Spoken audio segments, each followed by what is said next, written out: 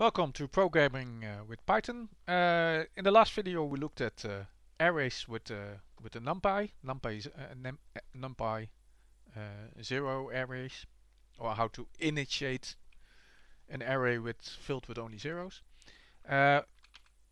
We can also give the type of the array, and that's done like this. So we're going to say d type, for instance, is int. if I run it now, nothing. Well it changes a little bit. Before we saw that there was a decimal point here in this uh, sentence and now we see that the decimal point is gone which is logic because int has no uh, digital uh, no decimal point. You can also see that it's really a different kind of object than what normally is embedded in Python because uh, Python normally if, if if I'm putting a float in an int well there's no problem. uh, it's just changed the type of the data. L let's see if we can do that here as well. So I'm, I'm, I'm trying to put a float in an int. Well, it works, but not really.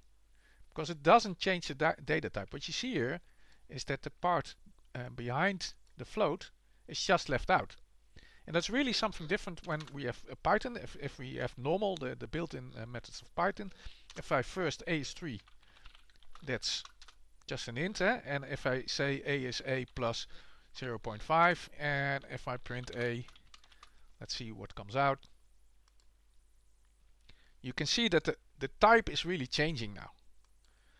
So with numpy the type the type you set here doesn't change. You cannot change it afterwards. It doesn't change automatically so that's a big, big difference.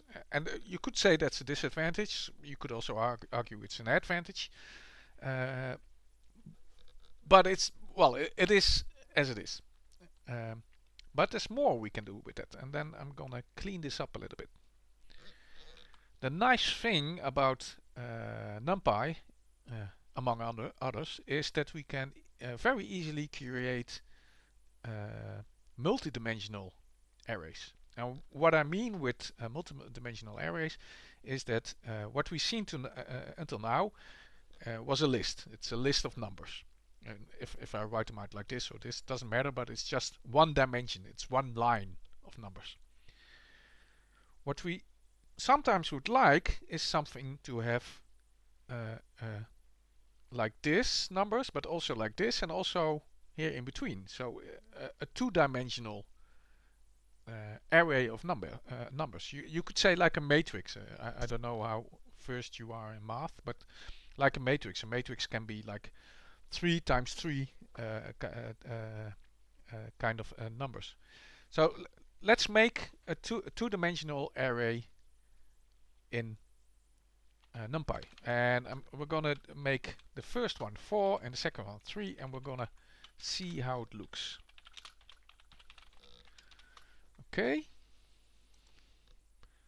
And you can see that uh, this is 3, this is 4, so we've got the one dimension is 3 numbers, so 0, 1, 2, and the other dimension is 4 numbers. You can see, uh, I cannot, yeah, like this. Here's 4 numbers. And that's really nice, because uh, having a multidimensional array, we could use this to mimic stuff in reality. Uh, for instance, if we want to have uh, a chess grid, like 8 by 8, 64 uh, positions, then, then we can use that. We can use this array type to to determine which pieces are standing where.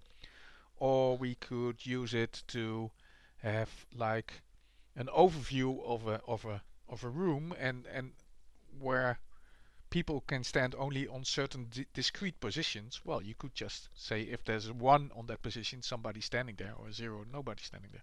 So this is actually really powerful, and and it's even more powerful because uh, you can do real quick calculations with this kind of multidimensional arrays, and I'm gonna show you that in the next video.